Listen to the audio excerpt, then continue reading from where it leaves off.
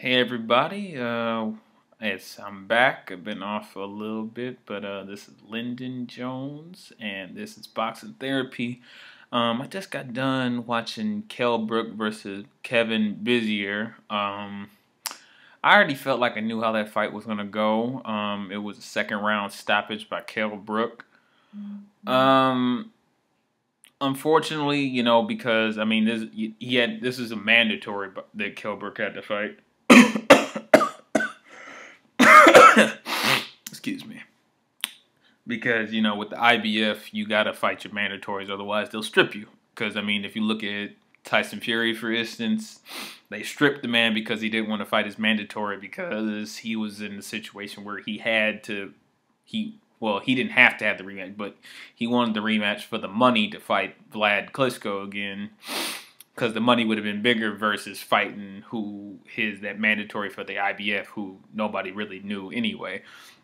But um, as Kevin Bizier. um, he didn't really he it didn't he, he didn't look like he was on Kell Brooks level at all, and I mean I knew he wasn't. You know, um, he didn't show anything special. He was just coming straight forward in the first round, making it an easy target for just Kell just to pick off on.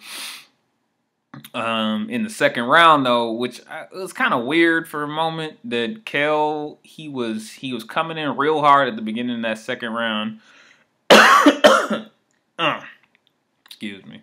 He's coming in real hard at the beginning of that second round. Then, like at some point, he seemed like he was back. He was backing off he's backing off a of Bizier for some reason, and I I've seen him sort of do that in some fights for some reason. Like he, like I don't know, like he just doesn't go out. Like if he feels like I don't know, it seemed like if he like if he's got an advantage, he seems like somewhat you know like to take his time and maybe not get rid of his opponents as soon as possible. But um, I guess Kell, um, he did a he he feinted back on one of Bizier's punches, and then he came because he came back with the uh, good right counter, caught Bizier flushed on the jaw. He was hurt.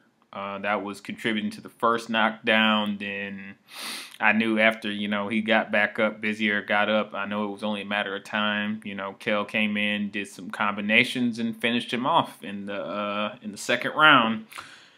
Um, but I gotta say that um, Kell Brook from this performance. I mean, he look he always looks good. You can't knock him for his style, but um, yeah, right now he his next fight's got to be a big fight. Um, I was listening to the post fight interview. He was he was uh, he mentioned he wanted the green belt, uh, Danny Garcia's belt that he's got. Um, he wanted to unify. He wanted to unify the division. You know, he mentioned uh, Timothy Bradley, Miguel Cotto.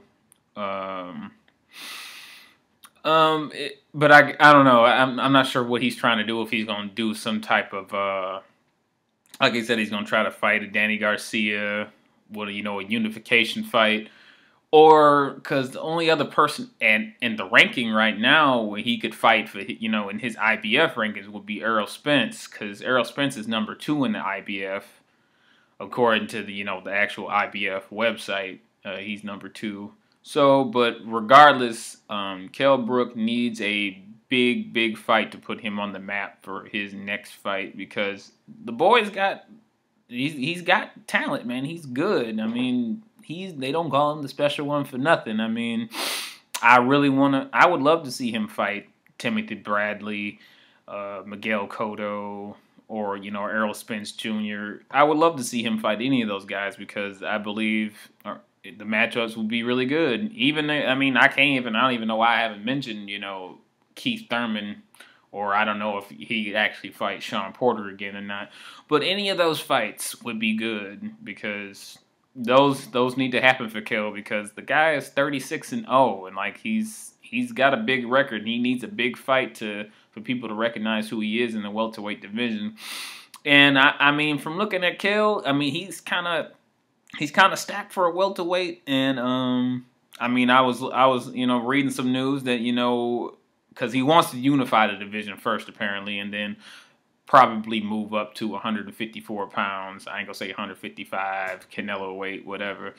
You know, I know about the fight with Amir Khan, but I, I don't even know how that whole situation's to go because you know Amir Khan and Canelo are fighting for the the middleweight title that Canelo has, even though they're fighting at 155 pounds, which doesn't make any sense to me.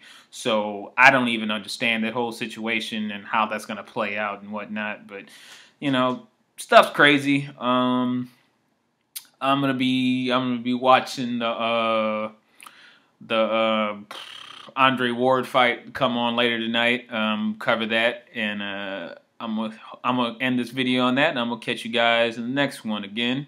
It's boxing therapy. I'm out.